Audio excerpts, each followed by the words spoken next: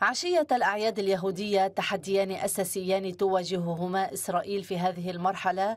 جذبا كل الاهتمام في كلمات المسؤولين الإسرائيليين السياسيين والأمنيين والعسكريين. التحدي الأول يتمثل في الانقسام الداخلي الحاد الذي تشهده إسرائيل وما يحمله من تبعات خطرة على وحدة المجتمع وتماسكه في ظل التحذير من تأثيره سلبا أيضا في الجيش الإسرائيلي. الشعب الإسرائيلي سيجلس إلى طاولة العيد لاستقبال العام الجديد في ظل صدع اجتماعي غير مسبوق لم تشهده إسرائيل أبدا وفي ظل توتر أمني أيضا.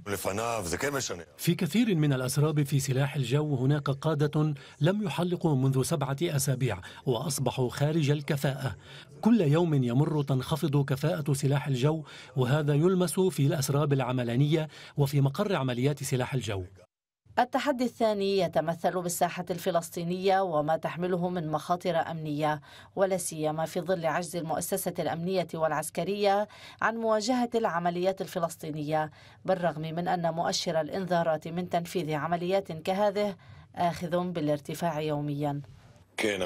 هذا العام هناك أكثر من 200 إنذار لدى الشباك بشأن تنفيذ عمليات في الضفة ومن ضمنها عشرات الإنذارات المركزة التي تحوي أمورا ملموسة وهذا يزيل النوم من عيون قوات الأمن. جبل الهيكل سيكون بؤرة توتر مهمة في هذه الأعياد.